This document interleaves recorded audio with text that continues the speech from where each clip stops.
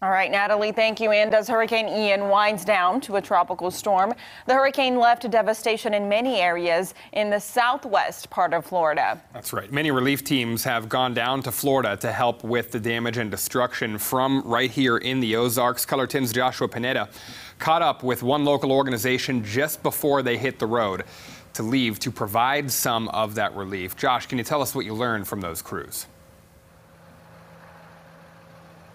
Well, Jesse, last night, I, yesterday, I caught up with Co Convoy of Hope just before they left Missouri to head down to Florida, where two million people lost power. I spoke with Stacy Lamb, who is the senior director of U.S. Disaster Services, about what Convoy of Hope will do once they arrive in Florida massive amount of flooding from the storm surge. The wind's going to cause all kinds of issues like power outages and those type of things.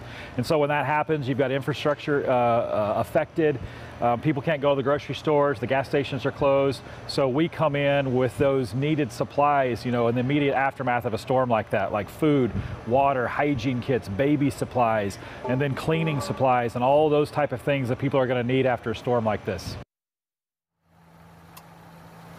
Areas like Fort Myers, Sarasota, Naples, and places along the southwest coast of Florida faced a storm surge of up to 12 feet of water.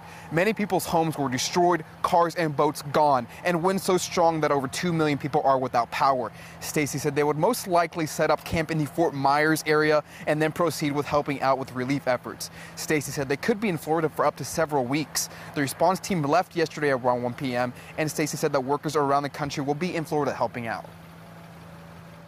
We've been talking to partners, church partners, and other partners that we have on the ground uh, for several days up and down the coast, um, kind of based on where the forecast has been. And uh, so we've got lots of folks ready, uh, ready, willing, and able to help Convoy once we get on the ground.